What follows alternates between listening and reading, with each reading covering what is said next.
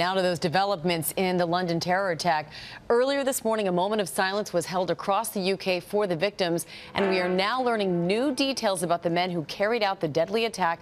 One of them was well known to authorities for his extremist views. And ABC's chief investigative correspondent Brian Ross is here with the latest on that. Good morning, Brian. Well, good morning, Amy. Police this morning have identified a third attacker, a Moroccan from Italy, who also was well known to police as an ISIS sympathizer, adding to questions police are facing this morning of whether they dropped the ball and failed to keep tabs on people they knew as potential threats.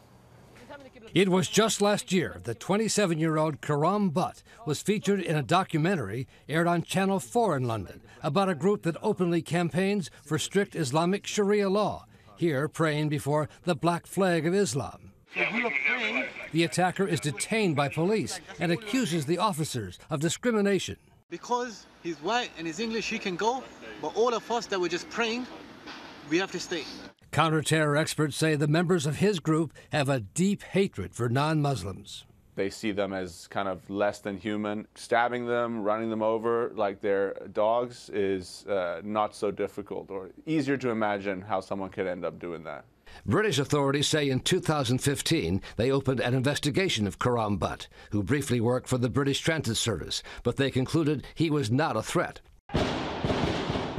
So on Saturday night, as he and his two followers marched down the street to kill, authorities were no longer keeping tabs on him. This newly released security camera footage shows the dramatic moments as a restaurant manager fought off two of the knife wielding attackers. Watch as the manager rushes people inside, barricading the door, with the attackers trying to force their way inside. The manager slams the door, and the attackers move on. We always ask ourselves, well, should we have known? Could this have been prevented? A second attacker has now been identified as Rachid Redouane, of Libyan or Moroccan descent, who the police said was not known to them before now. It's a wave of terror. This spate of attacks really shows what the UK and Europe more broadly are up against with all of the individuals who are radicalized and prepared to carry out this type of attack, at least inspired by ISIS.